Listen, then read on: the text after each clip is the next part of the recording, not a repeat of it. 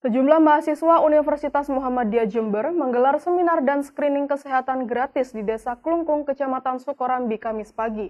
Hal itu dilakukan sebagai langkah pencegahan kasus hipertensi di daerah yang masih sulit dideteksi. Seminar kesehatan pengelolaan hipertensi digelar di kantor Desa Klungkung, Kecamatan Sukorambi, Jember, Kamis pagi. Diikuti puluhan warga, seminar yang digelar oleh kelompok mahasiswa program studi profesi nurse Universitas Muhammadiyah Jember ini bertujuan untuk mengoptimalkan pengelolaan kasus hipertensi di Desa Kelungkung, yang merupakan salah satu penyakit berbahaya dan sulit dideteksi. Dalam seminar kali ini, para mahasiswa melakukan screening kesehatan secara gratis kepada warga sebagai bentuk deteksi dini penyakit hipertensi. Mereka juga mensosialisasikan metode alternatif untuk melancarkan peredaran darah dengan merendam kaki di air rebusan serai dan garam yang dipercaya dapat melancarkan peredaran darah.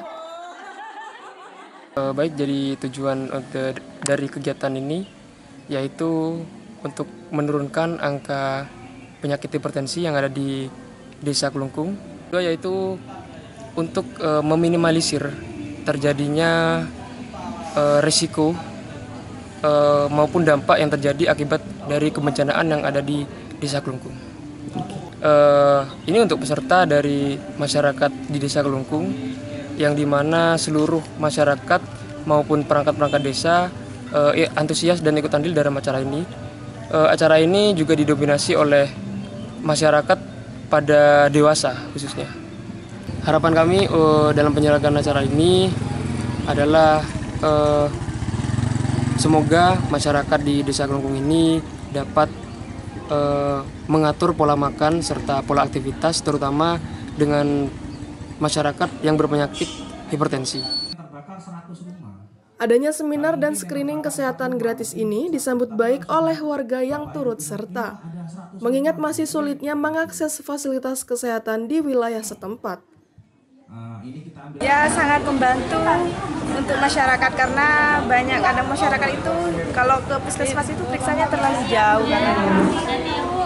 Jadi membantu ya, ya penting ya. membantu sekali. Jadi uh, kegiatan ini penting ya untuk mengedukasi ya, masyarakat. Iya penting sekali karena banyak warga itu yang senang kita ngadakan periksa keliling ini.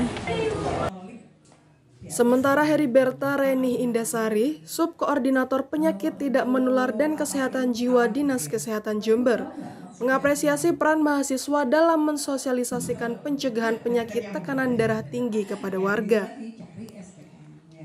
Adapun Kabupaten Jember sendiri masih terkendala proses deteksi hipertensi dan berada di kategori rawan hipertensi di peringkat 138 kabupaten kota se-Indonesia berdasarkan data Kementerian Kesehatan RI tahun 2020. Uh, menurut saya sangat bagus ya karena memang uh, yang dikerjakan oleh adik-adik ini uh, merupakan kegiatan yang mendukung program dari pemerintah terutama program penyakit tidak menular karena yaitu tadi uh, hipertensi merupakan salah satu penyakit yang memang jarang dideteksi oleh masyarakat. Apalagi masyarakat yang kalau nggak sakit kan nggak mau periksa kan mas. Nah, makanya itu kalau dengan adanya adik-adik ini mereka mau mengedukasi masyarakat itu akan sangat bagus untuk mencegah kejadian hipertensi.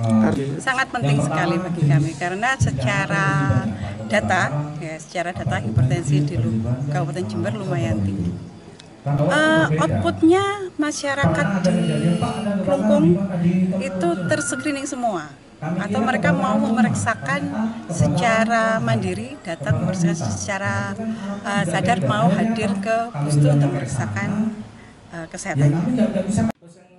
Selain seminar kesehatan, kegiatan kali ini juga diselingi dengan seminar tanggap bencana agar warga lebih siap dengan mitigasi potensi peristiwa alam yang rawan terjadi di kawasan setempat. Anas Hidayat, FTV Jember melaporkan. Nah,